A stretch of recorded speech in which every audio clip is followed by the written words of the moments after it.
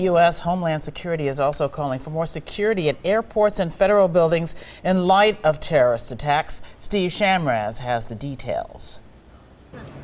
Ann Hughes is on her way to Atlanta and prepared for any extra scrutiny should it come her way, as the TSA is under orders to spend more time screening passengers, including more random searches of carry on bags. It's the safest thing to do. If you do it for one, you should do it around the entire world.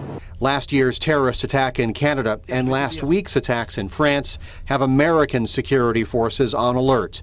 Places like Milwaukee's federal courthouse will get extra attention from the Federal Protective Services. Police will keep a closer eye on soft targets in major American cities. I think it's always be good, you know, to be proactive.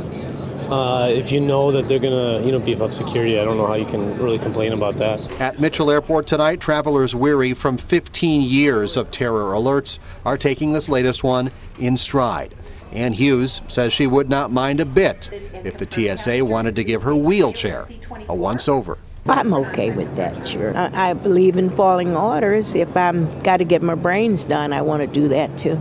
Steve Chamraz, today's TMJ4. Homeland Security says there's no specific intelligence pointing to a pending attack, just that world events mean we need to be more vigilant than ever before.